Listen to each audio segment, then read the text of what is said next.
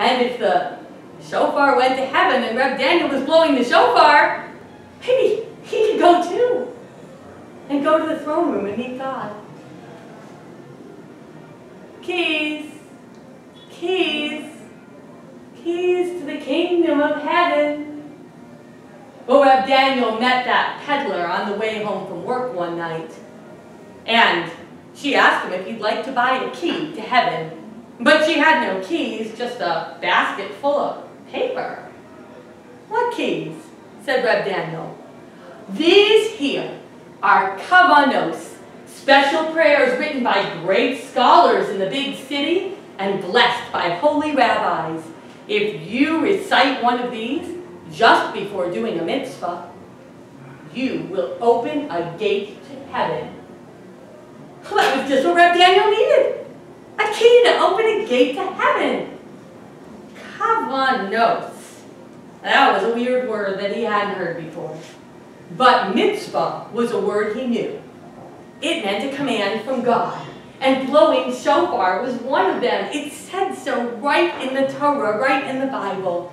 It said, in the seventh month, on the first day of the month, that was now, Rosh Hashanah, will be a holy gathering, a day for blowing shofar. Well, Reb Daniel bought three of those, one for himself, one for his wife, and one just in case. But when he brought them home, Sila said, I don't know. Daniel, you were chosen to do what you do well. I don't think you need anything else.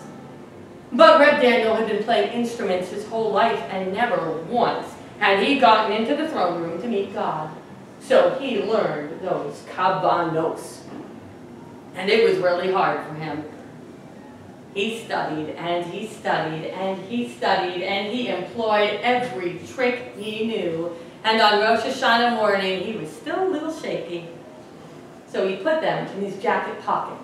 And he came down to breakfast, and his wife said, Good morning, Shana Tova, Daniel. And she went to kiss his cheek, and he was mumbling, mutter, mutter, mutter, mutter, mutter, those kavanos, and patting his jacket pocket. And that's how he ate breakfast, and that's how he walked to synagogue. Mumble, mumble, mumble, mumble, mumble, mumble, pat, pat, pat, pat. And you know what? You can't actually feel little slips of paper in a man's jacket pocket. Maybe a marble, maybe a Lego, not a little slip of paper. So we took him out to check. And a little wind, a tricky breeze, came and grabbed those papers, and he couldn't catch them. Daniel, you don't need them, said Sila. That's right, said Reb Daniel. I have them memorized and he found he couldn't remember a word.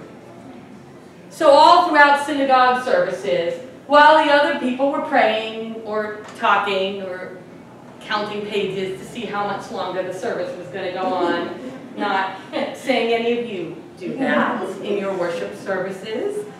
Just some people Reb Daniel was trying to remember a jumble of letters that had never made any sense to begin with. Reading and memorizing was not what Reb Daniel was good at. Music. Music was what he was good at. And now it was time to blow the shofar. And all the people, the men, the women, the children, people were lifting up their little babies to see Reb Daniel. And he began to cry. And he lifted the shofar, and the rabbi called that first note, the long one, Tekiah. And Reb Daniel's face was shining with tears dropping to the ground. And he called the second note, Shvarim.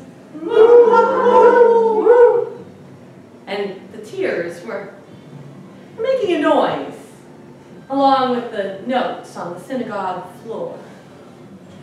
And he called, Trua.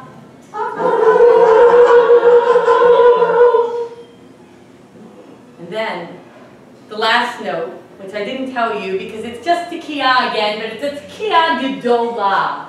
That means a big one. So you hold the note for as long as you can. Tekiah Gedolah.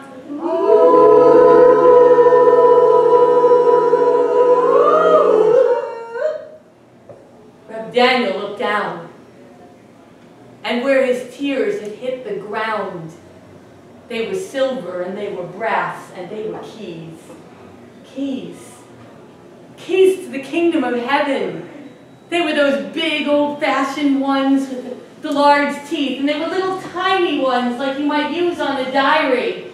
And he began to gather them up and throw them to the people like they were candy. Keys, keys, keys, catch one, take one.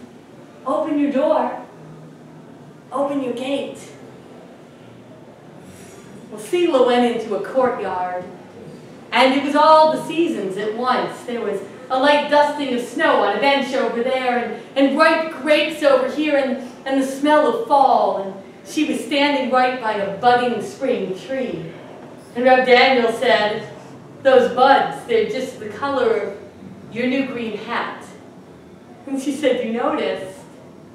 I bought it for new beginnings, like you, learning to blow the shofar. And then Reb Daniel went into the throne room. And he didn't ask for anything. Nothing at all. But God gave him something anyway. Another good year, Reb Daniel, if you help me make it so.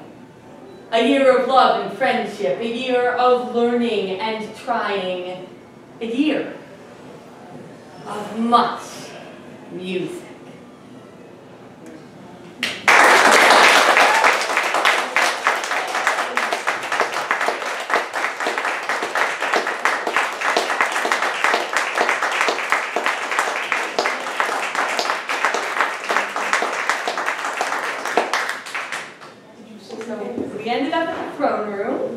If you'd like, I have a backup story, um, or there might be some backup music that you have coming. Um, yeah, I kind of played out, yeah. I'm sorry. okay, right. Well, I skipped one of my Herschel tales, but I think I'm going to give you guys another Elijah tale. Because the one I told was a little odder than uh, the standard European versions. So this uh, is an Elijah story. And there was a student, and he wanted to meet Eliyahu Hanavi, Elijah the prophet. So he went to his rabbi and he said, I'd like to meet Eliyahu Hanavi. And the rabbi said, yeah, sure, no problem. See that mountain over there? You go up there at the end of the day, not too early, not too late, and wait there, and you'll meet him. Great, that mountain wasn't too far away. The student packed up some stuff, he waited until it didn't seem too early, and he starts to walk up the mountain.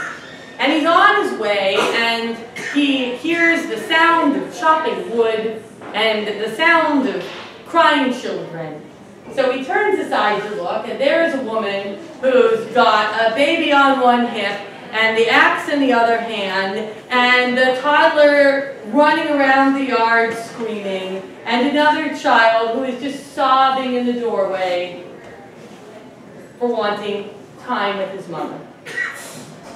And the student said,